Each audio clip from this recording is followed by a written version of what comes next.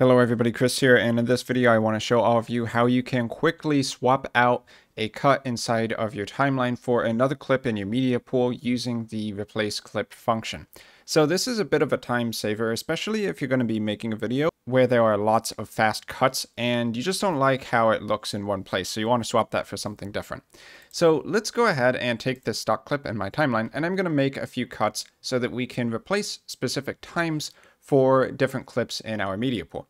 So use B or click here to go into Blade Edit Mode tool, and I'll make one cut at the 4 second period, and then one at 8 seconds. So right there with zero extra frames.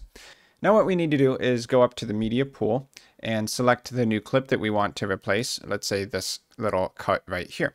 So I'm going to double click on this video and then find the period where you want the start here of our cut to match up and then just set an in point.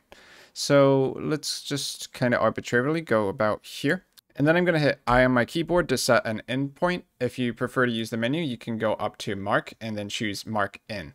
So now when I select this cut in the timeline and I hit the replace clip function, it's going to replace it with the clip I have selected up here. And I'll double click to make sure that's up there with the clip in the timeline. So let's go ahead and hit replace clip now with all of that selected. And we can see that in the timeline, it replaced it from that point forward. Now it didn't replace everything and we'll hit control Z to go back and fix that uh, because there simply wasn't enough extra footage from the stock clip. So let's go back up to the clip and select a new in point one with enough time remaining to completely replace the clip. And then let's do the replace clip function. So this time it replaces everything because there's actually enough footage between the in point and the end of the video.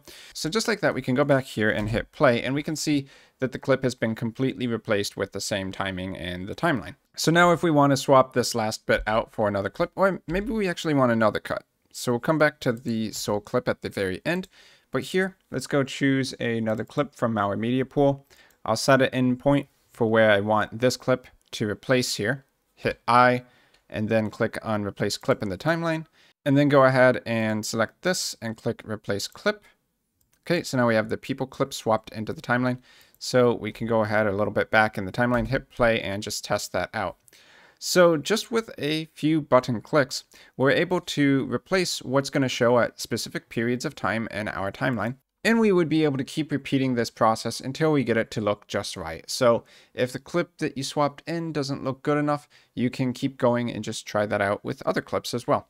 So in a nutshell, that is the replace clip function in DaVinci Resolve. So just wanted to quickly show that tip for anyone who didn't already know, because I've been finding it extremely useful lately. Aside from that, I've been Chris. Thanks for watching to the end, and I will see all of you in my future video content.